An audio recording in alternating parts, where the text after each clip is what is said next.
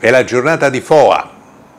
non si sa più cosa succede. La RAI, la presidenza della RAI, tutto il mondo politico si occupa della questione di Marcello Foa, che è un giornalista, non era conosciutissimo prima di questa vicenda, però aveva un, alle spalle una carriera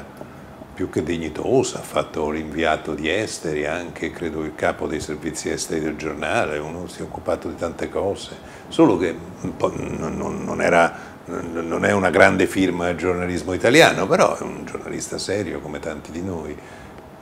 Mm, solo che non si è capito che succede perché la legge prevede che per diventare presidente della RAI debba prendere i due terzi dei voti della commissione vigilanza, della commissione parlamentare che ha il controllo sul servizio pubblico. Lui non li ha presi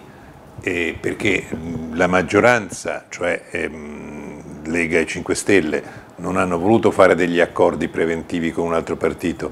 Mm, quando ci sono queste norme, stabiliscono che ci vogliono i due terzi dei voti, è perché si stabilisce che quella figura deve essere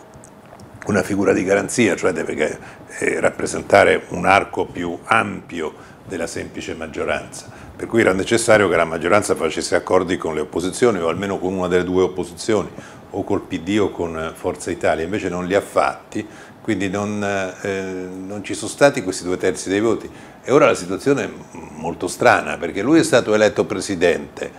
eh, si è stabilito che lui è il presidente, però eh, la commissione l'ha bocciato, quindi non è presidente. Salvini dice andiamo avanti lo stesso, andiamo avanti dove? Senza presidente? In realtà pare di sì, che si può andare avanti senza presidente, perché lui in quanto consigliere anziano prende ad interim la presidenza del Consiglio di amministrazione, si va avanti anche perché ehm, gli esperti ci spiegano che il Presidente della RAI non conta niente, conta solo l'amministratore delegato, quindi noi abbiamo fatto tutto questo ira di Dio, sono quattro giorni che parliamo di Marcello Foa, ma lui può restare Presidente anche se non ha i voti perché non conta niente. La vera domanda è questa, ma perché da tre giorni ci occupiamo di questa questione che pare non conti niente e che è proprio una questione che sembra, sembra il gioco di società, no? il risico, il monopoli, io eh, faccio così, tu fai ma perché